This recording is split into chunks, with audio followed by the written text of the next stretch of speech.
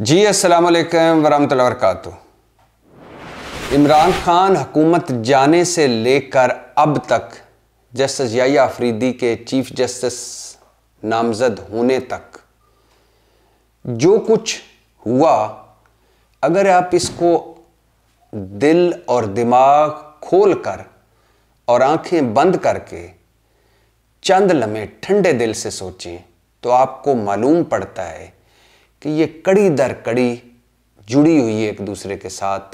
मतलब हैरत अंगेज तौर पर या बड़ा एक हसीन इतफाक़ है कि सब कुछ बक, लगता है कि बाकायदा मनसूबा बंदी से हुआ। या सब कुछ जो हुआ, उसमें बाकायदा मनसूबा बंदी लगती है। कैसे? और बात शुरू करने से पहले आपको मुबारक दे दूँ कि जस्टिस काजी फाइजिसा से बिल आखिर जान छूटने वाली है। वो कहते हैं ना वो जा, चलो जान छूटी लाखों पाए लौट के बुद्धू घर को आए। तो अल्लाह के फजल करम से काजी फाइजिसा रवानगी के करीब हैं। कोई और किसी पतली गली या चोर दरवाजे से वो ना आ जाएँ। लेकिन अल्लाह का शुक्र है कि अब उनके दो अढ़ाई दिन रह गए हैं। और उनसे जान छूट जाएगी। तो मैं बात कर रहा था इमरान खान, इमरान हुकूमत से लेकर, इमरान हुकूमत के जाने से लेकर जैसे जया आफरीदी तक सरा एक नज़र दौड़ाते हैं। इमरान खान हुकूमत क्यों गई? क्योंकि फ़ौज पीछे से हट गई थी और फ़ौज न्यूट्रल हो गई थी, ये उस वक़्त पता चला। लेकिन एक दिन, अभी कुछ चंद हफ़्ते पहले मौलाना फजल रहमान साहब ने बताया कि हमें इकट्ठा करके उस वक़्त इमरान खान हुकूमत मौजूद थी, इमरान खान वज़ी अजम थे तो ये पी डी एम के सरबराह थे मौलाना साहब और पी डी एम में आसफ अली जरदारी, नवाज़ शरीफ, शबाज शरीफ, यानी मुस्लिम लीग, पीपल्स पार्टी, यानी तेरह जमातें थीं, जिनमें बड़ी तीन जमातें थीं। मुस्लिम लीग नून, पीपल्स पार्टी और मौलाना साहब की जमात, मौलाना साहब सरबराह थे छब्बीस नुकात वाली पी डी एम तो मौलाना साहब ने बताया है कि हमें जन बाजवा और जन फैज़ ने इकट्ठा किया और कहा कि आप तरीक़ी अदम अतमाद लाएँ। इमरान खान के ख़िलाफ़ हमने कहा कि यह मुनासिब वक्त नहीं है, लेकिन उन्होंने कहा कि नहीं, आप लाएँ। तो फ़ौज इमरान खान से पीछे से हटती है और इमरान खान की हकूमत के इतिहादी जो हैं, वो लेफ़्ट राइट होते हैं, जरदारी साहब एक्टिव होते हैं, नवाज़ शरीफ साहब लंदन में मुलाकातें फरमाते हैं खुफिया और फिर इमरान खान हुकूमत चली जाती है। उसके बाद इमरान खान के जलसे शुरू हो जाते हैं, जलूस शुरू शुरू हो जाते हैं, लांग मार्च शुरू हो जाते हैं। और फिर उसके बाद मीर जाफ़र, मीर सादक से 9 मई तक का जो सफ़र है वो आपके सामने है। और उसमें बड़े अप्स एंड डाउन आए और बड़ी चीज़ें आईं और लेकिन ये पीडीएम हुकूमत चलती रही। और फिर अचानक 9 मई होता है और 9 मई के बाद हवाओं का रुख बदलता है और फिर पाकिस्तान तरीके इंसाफ को तोड़ दिया जाता है। पाकिस्तान तरीके इंसाफ टूट कर तीन हिस्सों में बैठ जाती है और फिर उसके बाद पाकिस्तान तरीके इंसाफ में जो बाकी रह जाते इमरान खान समेत, उन पर रोज़ाना के हिसाब से, थोक के हिसाब से मुकदमे दर्ज होना शुरू हो जाते हैं, घेरा तंग हो जाता है।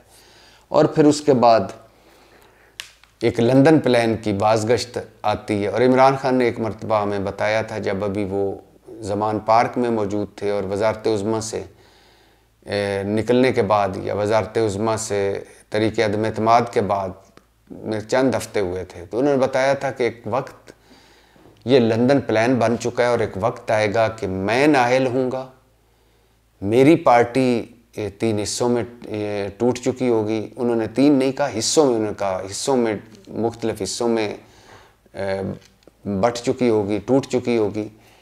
मैं जेल में हूँगा, नाहल हूँगा, नवाज़ शरीफ वापस आएगा, उसका सारा कुछ माफ़ कर दिया जाएगा, वो अहल होगा और वो अहल होकर पार्टी लीड करेगा और वो वक्त होगा इलेक्शन का।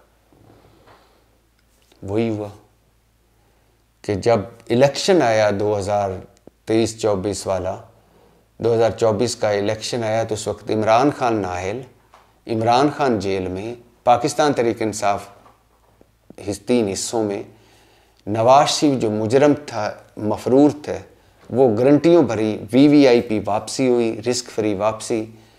नवाज़ शरीफ के अचानक सारे केस गायब हो गए ताहयात नैली ख़त्म हो गई। नवाज़ शरीफ ने लीड किया इलेक्शन में बाहर रहकर और इमरान खान नायल और जेल के अंदर। लेकिन यहाँ सूरत हाल बदली और जब ये सर्वे आने शुरू हो गए कि मुस्लिम लीग नून की, पहले तो था कि नवाज़ शरीफ की वापसी होगी तो मुस्लिम लीग नून हवा में चली जाए, आसमान पर चली जाएगी, इमरान खान फारग हो जाएगा। लेकिन नवाज़ शरीफ की वापसी हुई फुसफुसी सी और नवाज़ शरीफ की वापसी लॉन्चिंग नाकाम हुई। तो फिर दूसरे अगले मरहले में पाकिस्तान तरीके इंसाफ से सियासी स्पेस प्लेइंग फ़ील्ड ही ले ली गई। मतलब उनको उन, उनके उम्मीदवार उनको ढूंढना मुश्किल हो गए। जो उम्मीदवार थे इलेक्शन के, उनके कागजात नामजदगी छीने गए तजवीज़ कुनंदे तईद कुनंदे पकड़े गए।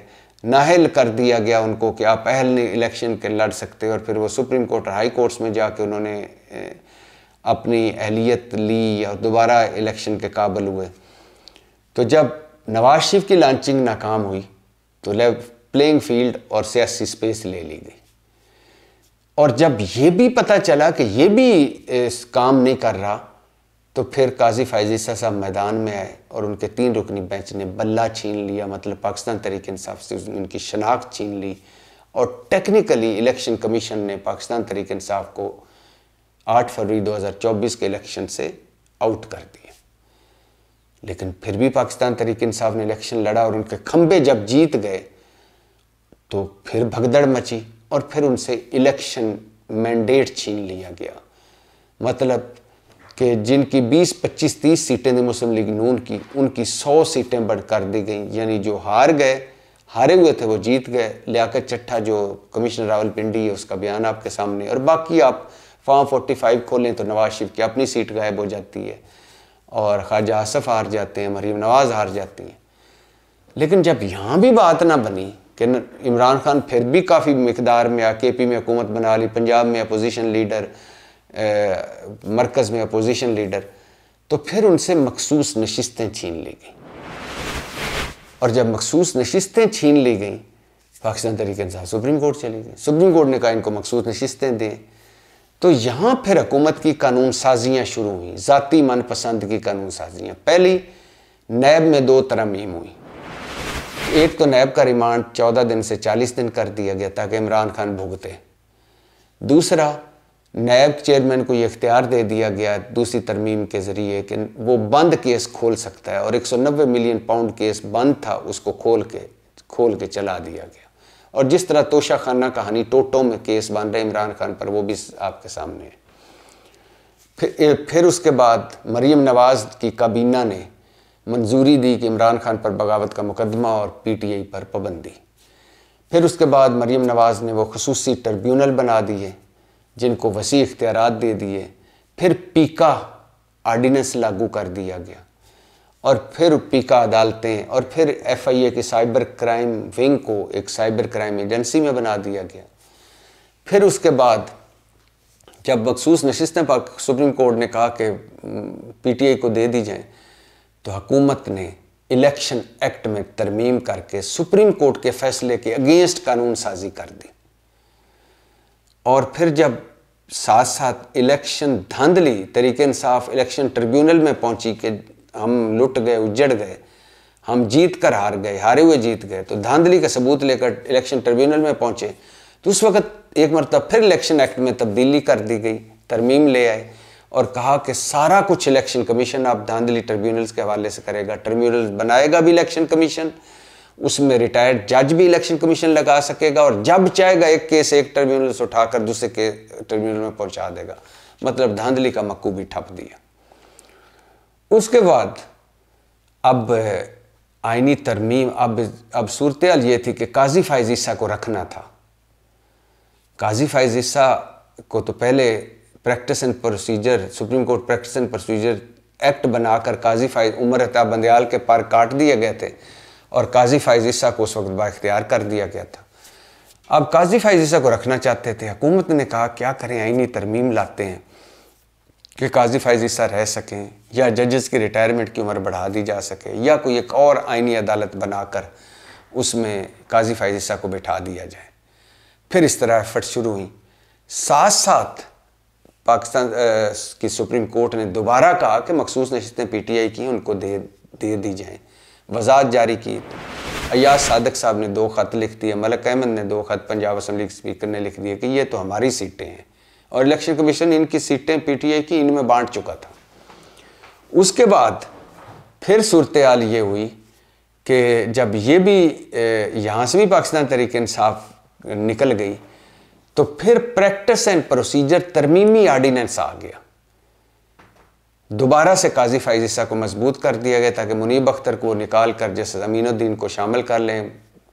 और लेक, लेकिन इस इस सारे इस आर्डीनेंस के ख़िलाफ़ मंसूर अली शाह साहब ने बाईकाट किया जजिस कमेटी का जो सुप्रीम कोर्ट को चलाने वाली कमेटी लेकिन काजी फायजीसा साहब ने अपने साथ बिठाया अमीनुद्दीन को और एक गैर कानूनी कमेटी ने पहला केस जो लगाया वो था 63 ए केस, जिसमें उमर अता बंदयाल का बेंच पहले फैसला कर चुका कर चुका था कि अगर कोई लोटा होता है तो उसका वोट शुमार नहीं होगा। अब आइनी तरमीम थी, उसके लिए लोटों की ज़रूरत थी तो लिहाजा काजी फायजिसा ने वो पहला केस लगाया और उसका फैसला कर दिया और उमर अता बंदयाल का फैसला कलदम करार दे दिया और कहा कि लोटे, लोटा करेसी जायज़, अब लोटे लोटों के वोट शुमार होंगे। कड़ी दर कड़ी में सुना रहा हूँ कैसे मिल, मिलती आती है। फिर उसके बाद, अब काजी फाइजिसा की रिटायरमेंट थी। काजी फाइजिसा किसी को काबिल कबूल नहीं था। मुस्लिम लीग नून के अलावा पीपल्स पार्टी के आधे पार्टी के अलावा। तो अब दूसरा, इन्होंने कहा कि चलो काजी फाइजिसा तो जा ही रहा है। तो कहीं ये किया जाए कि मंसूर इल्शा और मुनीब अख्तर चीफ जस्टिस ना बन पाए। तो फिर छब्बीसवीं आइनी तरमीम लाई गई। और छब्बीसवीं आइनी तरमीम के लिए जो कुछ हुआ वो आपके सामने है। बिल आखिर वो छब्बीसवीं आइनी तरमीम लाई गई और उसके तहत अब या अफरीदी को चीफ जस्टिस नामजद कर दिया गया और मंसूर अली शाह मुनीब अख्तर को फारग कर दिया गया। और इस सारा सब कुछ जो हुआ है, इसकी वजह कौन है? इमरान खान और पाकिस्तान तरीक इंसाफ। नैब के जो दो तरामीम हैं, वो भी इमरान खान और पाकिस्तान तरीके इंसाफ को फिक्स करने के लिए। इलेक्शन एक्ट में जो दो तरमीमें आई, वो भी पाकिस्तान तरीके इंसाफ को फिक्स करने के लिए। प्रैक्टिस एंड प्रोसीजर तरमीमी जो आर्डीनेंस आया, वो भी लोटा क्रेसी जायज़ करार दे के मतलब छब्बीसवीं आइनवी तरमीम लाने के लिए मतलब पाकिस्तान तरीके इंसाफ को रिलीफ ना दे मंसूर अली शाह साहब, वो भी इसके लिए। और अब जस्टिस याया अफरीदी का इम्तहान है, और वो चीफ जस्टिस हैं, वो उदा कबूल करते हैं। तो पहले दिन से मुतनाज़ कि ये हुकूमती जज हैं। हकूमत ने सब कुछ एक मनसूबाबंदी के तहत दो जज साहबान सीनियर को नज़रअंदाज करके इनको चीफ जस्टिस बनाया। नहीं कबूल करते तो इज़्ज़त और वक़ार का रास्ता लेंगे। लेकिन फिर आगे अगला चीफ जस्टिस क्या मुनीब अख्तर होंगे या मनसूर शाह होंगे, ये एक है। तो मैं कह रहा था कि सब कुछ लग रहा है कि जैसे कड़ी दर कड़ी इकट्ठा चलता हुआ आ रहा है। और इसकी आखिरी कड़ी जो है वो आपके सामने है। और वो कड़ी है पाकिस्तान तरीके इंसाफ जो हर पुल सराज से गुजर गई हर मुश्किल से सुरखरू हुई। अब उस पर एक, एक और तरह का हकूमत और ये निज़ाम हमला कर रहा है। और वो है पाकिस्तान तरीके इंसाफ को अंदर से तोड़ना। उसके लिए पहले वर्कर्स और पार्टी की आदत में बददिली फैलाई गई। दूसरे मरहले में इमरान खान को पाकिस्तान तरीक इंसाफ से काट दिया गया मतलब उनकी मुलाकात पर मुकम्मल पाबंदी है। कोई तरीक इंसाफ का बंदा उनसे नहीं मिल पाता। तीसरे मरहले पर उन पार्टी के अंदर रंग नंबर और ब्रूटस घुसाए गए, जो पार्टी में अब इंतशार और तसादम पैदा कर रहे हैं। और पार्टी एक दूसरे के ग्रोह बंदियों में बट तकसीम हो चुकी है और एक दूसरे को मशकूक जान रही है कि ये विकेट की दोनों तरफ़ खेल रहा है, ये मशकूक है, ये उससे मिला हुआ है, ये उससे मिला हुआ है। और अब उसमें से, पार्टी में से फावर्ड ब्लाक बनाया जा रहा है। और सुना जा रहा है कि शाह महमूद कुरेशी या कोई और पार्टी का बड़ा सियासतदान उस फावर्ड ब्लाक को लीड करेगा। तो सारा कुछ इमरान खान हुकूमत जाने से आज इमरान खान के अडयाला जेल में होने तक सब कुछ कड़ी दर कड़ी ये चीज़ें चलती हुई नज़र आती हैं। आगे क्या ये कड़ियाँ चलती रहेंगी? या वो जैसे एक कानून कुदरत होता है कि हर अरूज को जवाल और हर हर जवाल के बाद चीज़ें बेहतर होती हैं कि तो तो क्या पाकिस्तान तरीके इंसाफ के लिए कहीं से कोई बेहतरी निकलेगी?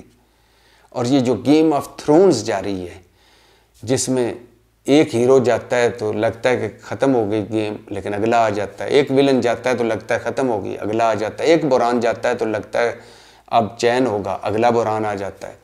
तो क्या अब इसके बाद मज़ीद नफ़रत, मज़ीद तकसीम, मज़ीद बुरान, या मज़ीद कोई विलन सामने आएगा, मज़ीद कोई तसादम होगा, या रावी चैन ही चैन लिखेगा?